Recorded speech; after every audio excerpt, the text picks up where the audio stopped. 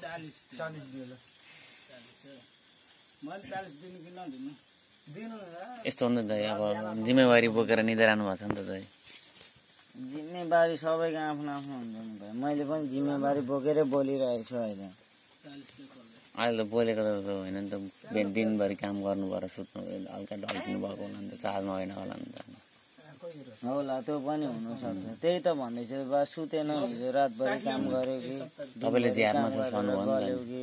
कुन सामानको झ्यारमा छ भन्नुभयो मैले तँलाई सोधेको छु र। अनि जवाब किन दाइ त्यस्तो दाजुभाइ तँलाई सोधेको छु र मैले। होइन कि भयो यस्तो हो कि भन्छ जवाब हर हर कुरामा जवाब नदिए नि फेरि फेरि भाइ फुच्चे भाइ होस् कि? भनेर कहाँ हुन्छ आजै बोल्दैछस् मसँग। सोध्न पाएन आफ्नो सम्झेर। के त दाइ? अरू बेला मुझे बोल्दै नबोल्ने भाइलाई मुझे आज हर जवाबमा जवाब फर्काउनु भनेको। म कहिले नबोलेपछि मलाई भाइ भनेपछि दाइ भनेर भन्नु पर्दैन त नि। कसले? म दाई भनेर भन्छु भाइ भनेर कहिले भन्दिनँ? दाई भनेर म तपाईँलाई दाइ- तँलाई चाहिँ मैले चाहिँ दाइ भनेर कहिले बोलाउनु त? भाइलाई मैले भनेर तपाईँको म भाइ त मलाई दाई भनेर तपाईँले बोलाउनु कहिले बोलाउनु अब अर्को जुनीमा? यो जुनीमा त हुँदैन मेरो दाई नै हो तपाईँ अब दाई नै हुनुहुन्छ। भाइ हुनु हुँदैन कहिले? बाँचुन्जेल।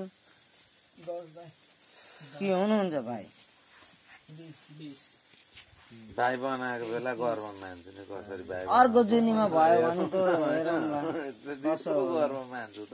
मेरो भाइले पनि मलाई भाइ बनायो भनेर त्यतिखेर गर्व मान्छु र त्यतिखेर चाहिँ बनाउने दिनको कुरा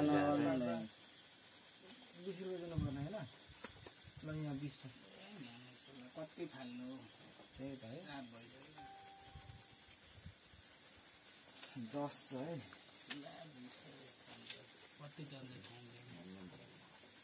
साह्रै बुढो भयो होइन फेसबुक नि होइन। यो यहाँ।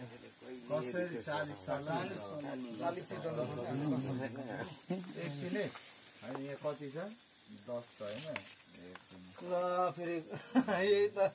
त्यो तपाईँले नि निकाल्नु पर्छ मैले कसरी ल मैले मेरो त आयो त।